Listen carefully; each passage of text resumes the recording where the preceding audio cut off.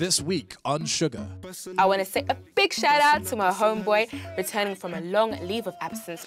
So let's talk about you being back. I'm in Nigeria. I miss home, and, and um, I hope home misses me. Did you know about Femi Akoye? It was a long time ago, even before us. I missed you.